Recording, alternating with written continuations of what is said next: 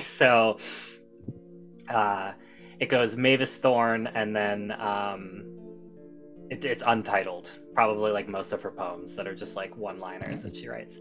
Um, Hark the hero's quest, one that only we attest. In darkness, where we found a shady person hanging around, gray hair peeked over the still, their desires as strong as their wills. Will. God, I hate reading poetry. Why did I pick a poetry major? Uh, I must graduate, they proclaimed, as their face remained unashamed. Uh, we spotted the fox in her hole, a place where she had complete control. Uh, the princess then approached the burrow and ensured that her delusions were extremely thorough.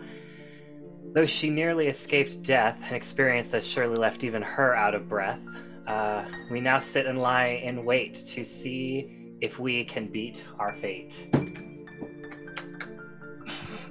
That's pretty good. That's that's, that's very good for ten minutes.